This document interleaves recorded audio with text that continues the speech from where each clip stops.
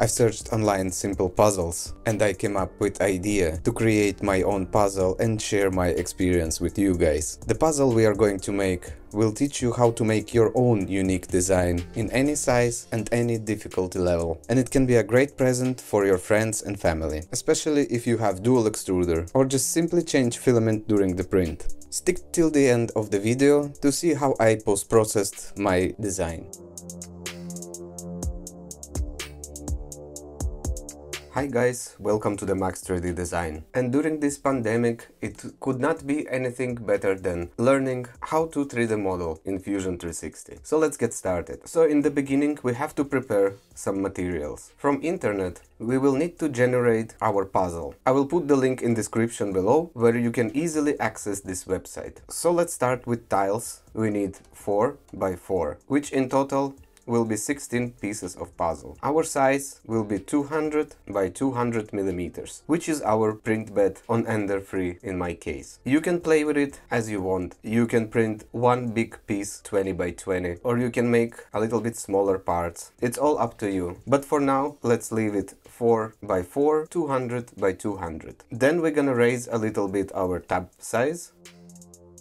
We're gonna change our seed Basically, it means the variation of the puzzle. I usually leave it at maximum. Jitter will define how straight will be our puzzle connections. And then, when we're happy with all the results, we just hit download SVG. Now, for our model, we will have to download this beautiful motorcycle. I found svgart.org where you can download a lot of free models. So we press download free SVG file. And now we have all the parts for our model. So in a Fusion, I'm gonna create a sketch on the XY plane.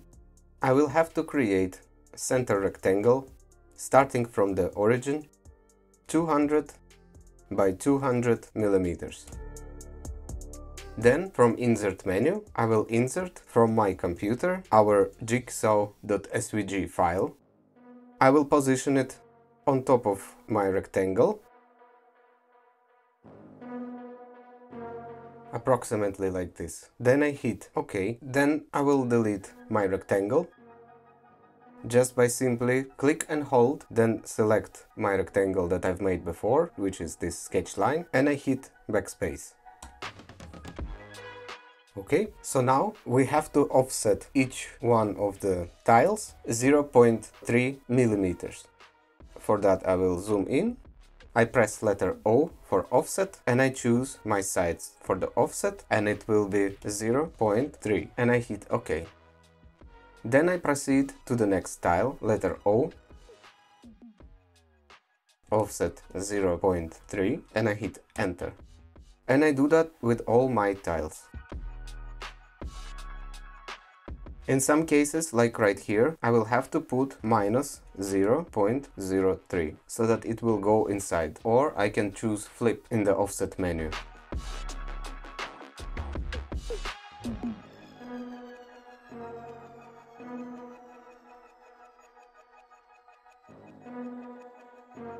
Don't worry if you select the wrong line, because Fusion will not allow you offset of the offset. It will show you an error like it showed to me.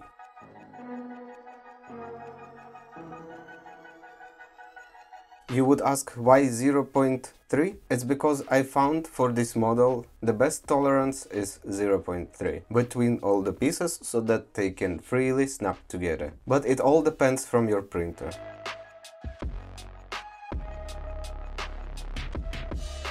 Okay, looks like our sketch is ready. Let's press finish sketch. Now we will have to extrude all these tiles. For that I'm gonna hit extrude and I'm gonna select each tile in my sketch. Just make sure you click in the middle of each tile so that you don't accidentally choose sketch that we don't need. And I will extrude it 4 millimeters high. Operation new component and then I hit OK. So now we have our puzzle with perfect tolerance for the printer. Now let's make a offset plane. We can choose any tile we want and then we just hit OK.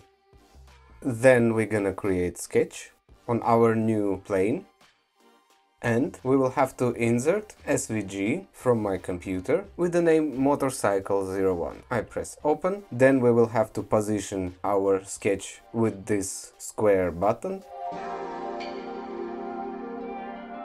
We can make it slightly bigger, reposition again. And then when we're happy with the results, we simply click OK. So now we have a sketch of our bike. I press finish sketch and now will be a little bit tricky. We have to extrude all the parts from our bike according to the tiles. We will have to press cancel and go back to our sketch here in timeline. I just right click on our sketch. I choose edit sketch and we need to project some of the tiles on our sketch. For that I'm gonna press letter P for project. Then I'm gonna choose the tiles where my motorbike relates to. And then I hit OK. So now as you can see, our bike is evenly separated for small little parts. I press finish sketch. Now I will press extrude.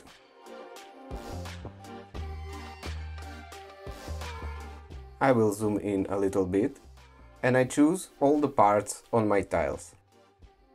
If you chosen something wrong, you can just click it one more time and it will disappear from your selection.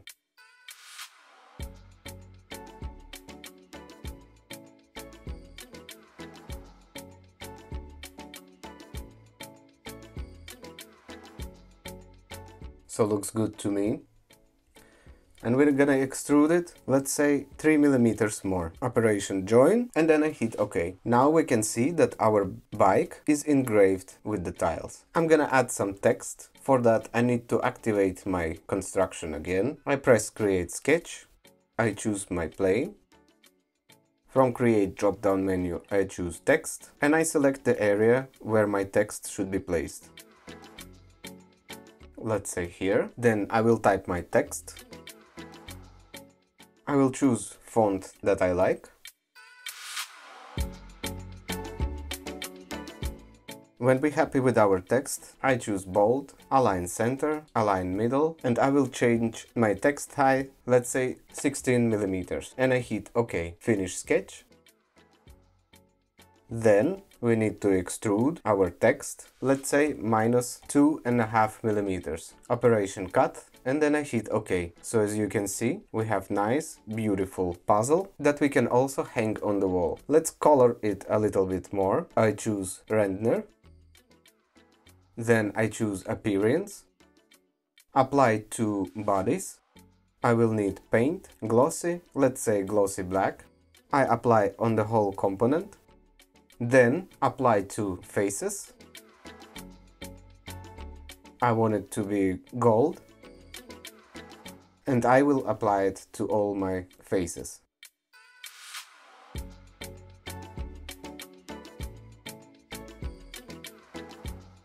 Looks like we forgot to extrude one small piece. For that we're gonna go back to design. We're gonna choose in our timeline our bike extrusion options, right click, edit future and in our profile we will have to select this small tiny little piece. Now when it's selected I simply press OK. I go back to the render and I continue to do some rendering. Okay, the bike is ready, now let's make our letters. Let's say silver polished. Now let's try to render. Let's change the environment.